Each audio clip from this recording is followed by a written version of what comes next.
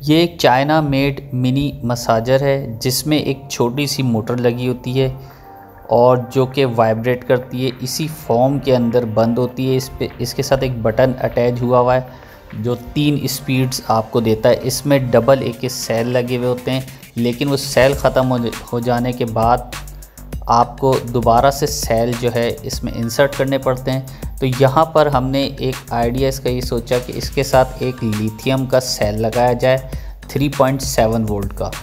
और इसके साथ एक पावर बैंक का सर्किट अटैच करके इसको सप्लाई दे दी जाए। तो यहाँ पर ये दो वायर इसके अंदर से जहाँ से सेल निकाले थे डबल ए के, वो दो वायर जो है इसके पावर बैंक के सर्किट के साथ और सेल के साथ प्लस माइनस लगा कर इसको बना लिया है ये और ये इससे चार्जिंग भी देता रहेगा। पाँच वोल्ट के मोबाइल चार्जर से इसको चार्ज करता रहेगा भरता रहेगा सेल और ये यूज़ होता रहेगा और ये इसी के अंदर जो है पैक कर दिया जाएगा। क्योंकि जब ये आ, मसाजर इसमें से डबल ए के जब सेल निकले थे ये भी इसी के अंदर मौजूद थे।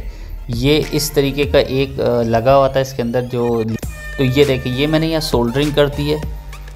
और इसको अटैच कर दिया, यानी प्लस प्लस के साथ माइनस माइनस के साथ, इसी तरीके से मसाजर में भी प्लस प्लस जोड़ देंगे और माइनस माइनस जोड़ देंगे और इसको इसके अंदर पैक कर देंगे। ये देखिए पैक इस तरीके से कुछ कनेक्शंस आपने कर लेने हैं। पावर बैंक से सेल में सेल से मोटर जो अंदर लगी हुई है वाइब्रेट जो करती है, उसमें प्लस प्लस दे देंगे। अब ये इसके अंदर पैक करने की बारी आ गई, ये इसके अंदर पैक कर दिया जाएगा। ये देखिए, इस तरीके से इसको